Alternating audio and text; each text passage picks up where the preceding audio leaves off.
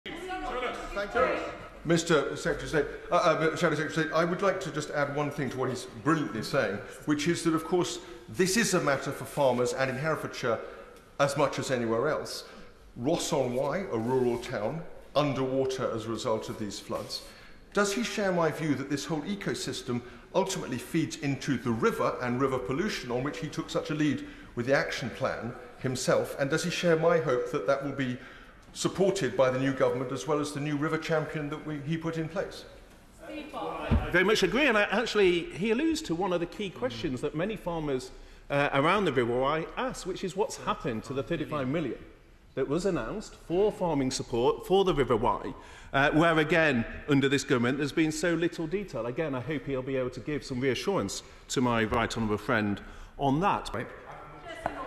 Could the Secretary of State possibly give me some comfort that the money that was allocated for the action plan for the River Wye will be retained, even if not necessarily for the purposes that it was created for, and also that he will reappoint uh, the current uh, champion for the river who has been doing some excellent work so far?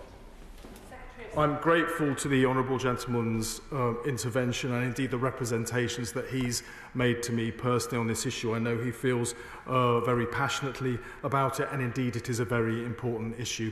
I'm afraid we'll need to wait until the conclusion of the spending review, which is normal practice uh, in government, but his, his words have been heard uh, and his concerns recognised.